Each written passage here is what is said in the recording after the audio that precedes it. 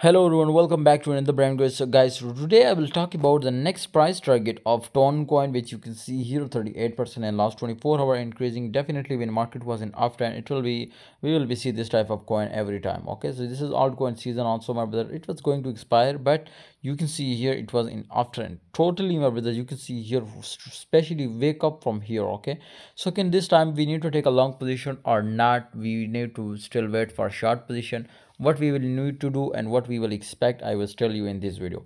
My, guys if you want my brothers to get future trading signals daily 10 to 15 signals then join my telegram group. I will provide future trading signals especially so if you are interested to join link is in the description. Join my group with 100% confidence my brother and you'll print money like machine okay so Ton coin brother if we look brother so uh, it was totally enough uptrend. the volume and market cap both are increasing you can see here.